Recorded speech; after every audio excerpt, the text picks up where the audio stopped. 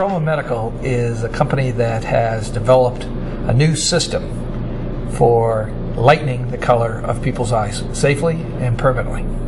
That this market opportunity is for all people uh, between the ages of 20 and 50 years old uh, who have dark eyes and who really want to have blue eyes or green eyes. The technology was developed by uh, Dr. Gregg Homer. And the basis of the technology is that it's a photodisruption process that occurs in only the front part of the iris.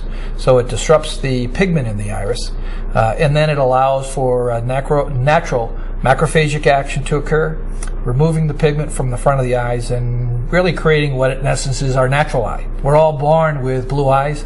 Uh, it's just they're underneath some pigment.